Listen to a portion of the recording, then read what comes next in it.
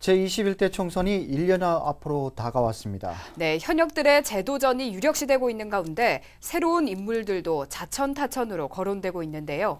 네, 어떤 인물들이 물망에 오르고 있는지 김영환 기자가 알아봤습니다.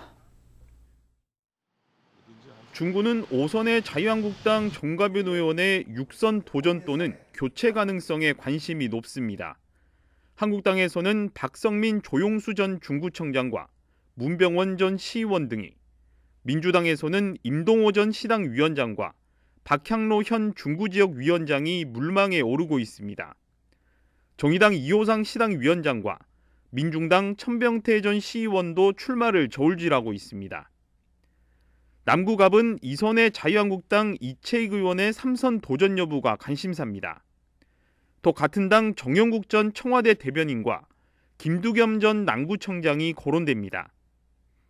민주당에서는 심규명 지역위원장의 출마가 유력하고 송병기 경제부시장의 이름도 떠오르고 있습니다.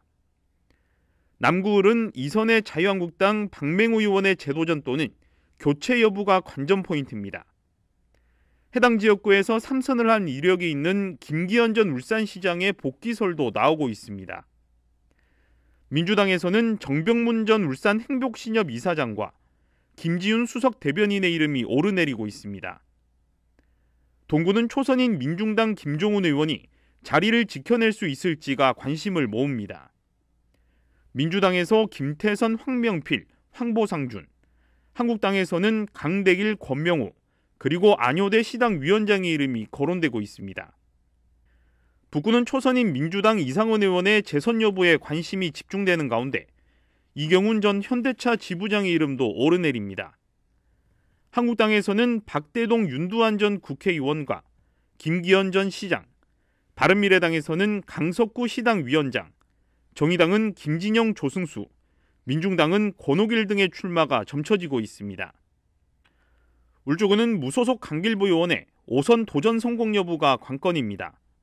민주당에서는 송규봉 김태남 그리고 김영훈 관세청장이 한국당은 당협위원장 서범수에 이어 김두겸 신장열 이순걸 등의 이름이 오르내리고 있습니다. JCN 뉴스 김용환입니다.